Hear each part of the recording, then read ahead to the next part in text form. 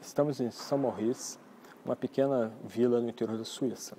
Essa é a igreja de São Maurício, é uma igreja, na verdade, da Abadia de São Maurício.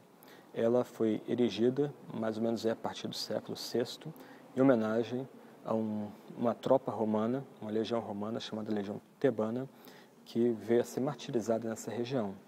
Ela era comandada por um homem chamado Maurício. Eles foram transferidos do Egito para cá, por ordem do imperador Maximiano, e foi exigido deles que eles queimassem incenso ao imperador, reconhecendo-o como Deus.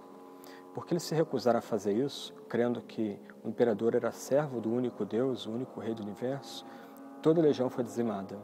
De acordo com a história, com a geografia, 6.666 legionários foram executados nessa região. Hoje, a fé cristã continua sendo perseguida.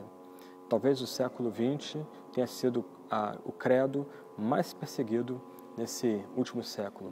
Só em 2000, mais ou menos 160 mil cristãos foram martirizados. O que nós precisamos lembrar é que as histórias de martírio continuam.